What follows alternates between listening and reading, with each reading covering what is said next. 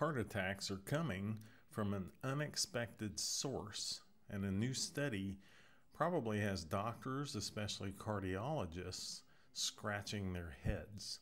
And hopefully, they will change their recommendations and quit pushing statins on everybody and focus on lifestyle. When it comes to predicting your risk of heart disease, we've been focusing on the wrong lipid number for far too long. Despite all the statins and the food pyramid, heart disease is still the leading cause of death worldwide, and cholesterol has been demonized as the culprit. However, the type of lipid in your blood may be more important than the total number of your cholesterol panel. For decades, doctors have been telling us to lower our LDL levels to prevent heart disease and stroke.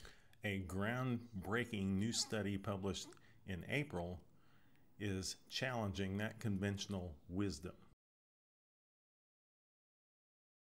This new study was published in the Journal of the American Heart Association and shows that very low density lipoprotein levels are more predictive of future heart disease than LDL levels.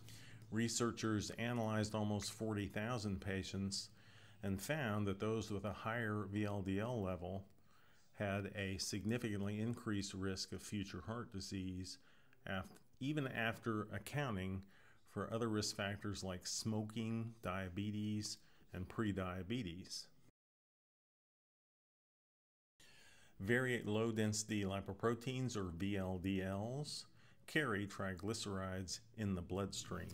This study found that even in patients with lower LDL levels, those with higher VLDL levels had a higher risk of heart disease and stroke.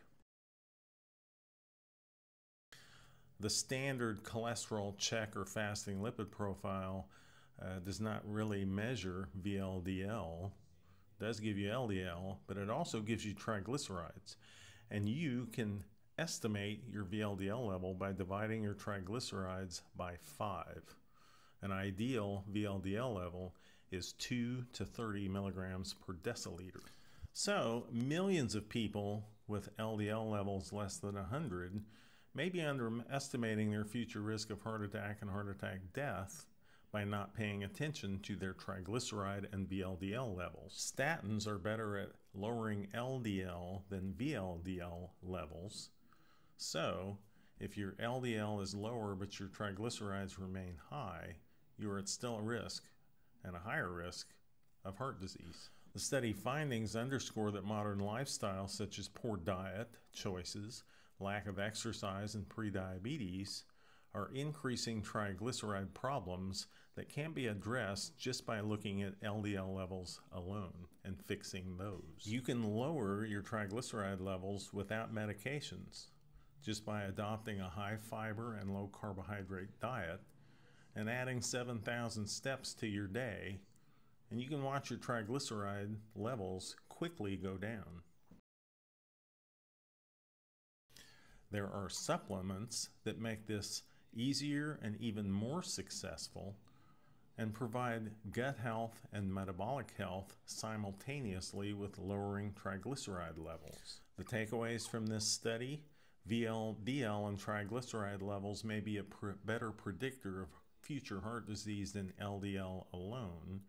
People with high VLDL and normal LDL or low LDL are at particularly high risk, and checking VLDL levels or estimating them from your triglyceride levels may help identify those at higher risk than merely LDL levels alone. So don't ignore this risk that is hiding in plain sight. When your doctor is pushing a statin, thank them and go fix it yourself. And if you need help, message me or email me and I'll set you on the right path. Have a great day. I'll talk to you later. Bye.